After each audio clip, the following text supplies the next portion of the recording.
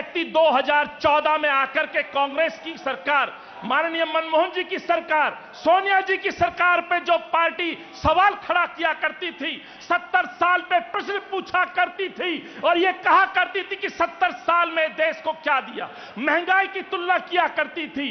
तो आज उस सरकार से, इस मंच से मैं अपने नेताओं के सामने इस सरकार से पूछना चाहता हूँ, ऐसा आठ साल में क्या हो गया इस मुल्क के अंदर कि 70 साल 2014 में जिस दूध की कीमत 30 रुपए हुआ करती थी। आज वो दूध बासठ और पैंसठ रुपए क्यों हो गया?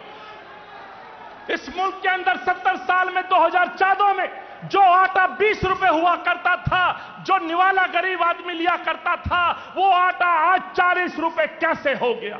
2014 में ये भाजपा और मोदी, इनके सूरवीर झूठे प्रवक्ता चैनल पर बैठ के कांग्रेस के नेताओं से सवाल पूछा करते थे, गैस सिलेंडर पर प्रदर्शन किया करते थे 410 की कीमत हुआ करती थी 70 साल 2014 में। आज आठ साल में क्या हो गया कि गैस सिलेंडर 1100 रुपए के पार हो गया? मैं पूछना चाहता हूँ, मोदी जी से, कृषि प्रधान देश है ये मुल्क। किसान आज यहाँ मौजूद है। इस देश के अंदर में सरसों का तेल 70 साल में 2014 तक 80 रुपए पहुँचा था। आज आठ साल के इस कार्यकाल भाजपा में 200 के पार सरसों का तेल हो गया। ईंधन की कीमतों का ज़िक्र मुझसे पूर्व वक्ताओं ने किया मैं आपसे आग्रह करता हूँ, सत्ता में बैठे लोग, पार्टी और आदरणीय राहुल जी और उस पर सवाल खड़े करेंगे। लेकिन मेरे नेता, इस मुल्क के नेता, आदरणीय राहुल गांधी जी पाँच तारीख को अपनी गिरफ्तारी देते हैं और इस मुल्क की सरकार को झुकाने का काम करते हैं।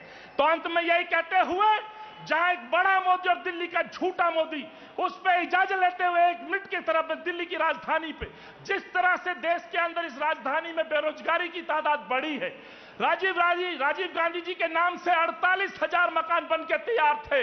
तो केजरीवाल से भी पूछना चाहता हूँ, जितनी जिम्मेवारी केंद्र सरकार थी, मैं समझता हूँ उससे ज़्यादा जिम्मेवारी योगी और मोदी सरकार और अरविंद की ज़िम्मेदारी बनती थी। अंत में यही कहते हुए जिसका आपको इंतज़ार है आपको हाथ जोड़ के अभिनंदन दिल्ली पहुँचने पर।